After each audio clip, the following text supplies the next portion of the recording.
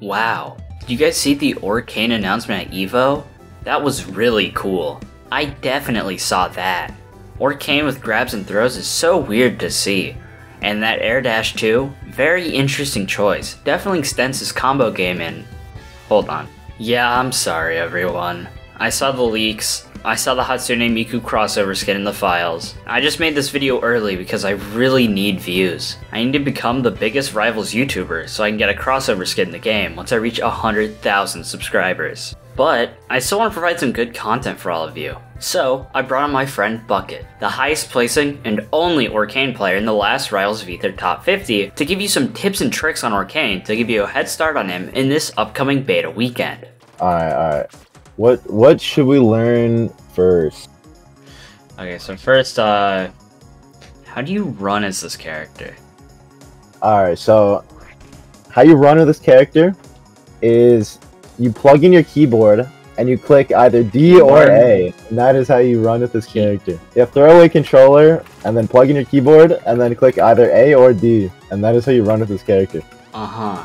The next thing I want to know is, uh, how do you recover on this character? Alright, so the most basic option ever is you put down a puddle, unless you're getting hit off stage. Boom. Look at that. You can teleport to a puddle. Oh! Wait, Yeah. hold on, you can...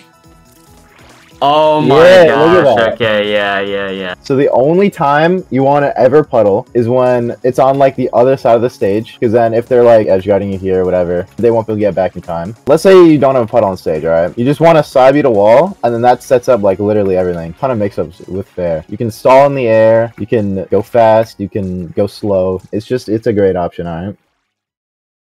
So yeah, uh, are you planning on playing Orcane this next beta? Yeah, I'm thinking of trying out Orcane. Even though floor hugging feels bad, although last patch was a step in the right direction, recovery system is a lot shallower. Movement feels very clunky and is a direct downgrade from 1. All the souls taken out of the combo game, with the removal of Drift Eye and the engine changes, all the returning characters feel like a gutted version of their former selves. Game looks like absolute dog shit. Pummel system fucking sucks. And Orcane is like so ugly. Why the fuck did they give him like yellow eyes, bro? I don't care if it's like lore accurate, bro. He looks so stupid. He looks he looks high, bro. Why the fuck would you make him like Wow. Did you guys see the Hodan announcement at EVO? That was really cool. I definitely saw that.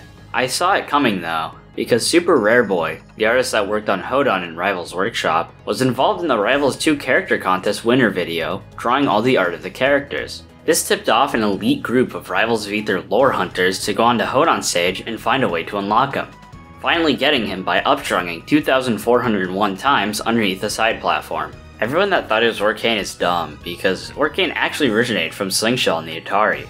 And after the $10 million lawsuit against Aether Studios for including him in Rivals, forcing them to host a Kickstarter for Rivals 2 to try and recoup their losses, I doubt they'd try and add him again.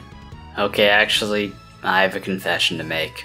I didn't see the announcement. I'm just trying to game the system by getting a video out on this character super early so I can earn enough money off of ad revenue to buy every Maldo plushie. But I still want to provide some valuable content for all of you, so I brought on the Hodan that's worse than Plushie Panic, Quinny, to give you all some tips. Wait, what's that? Quinny doesn't play Rivals anymore? He plays Martha in Melee? He's also worse than Giga? Well then how am I supposed to make this video? What the fuck? play? You do character DSR where you can't play a come character on, you yes, want. do that! Oh my god! There's that. Guys, really can relax on this. Really can chill on this. No, we got it! Touch No, a living wait. thing. Oh wait, wait, we both got it. Wait, two people? Wait, two people got it? Going all that, all that. Hold that, bro. Sorry. Sorry. This is so bullshit. Wow. Did you guys see the Etalus announcement at EVO? That was really cool. I definitely saw that.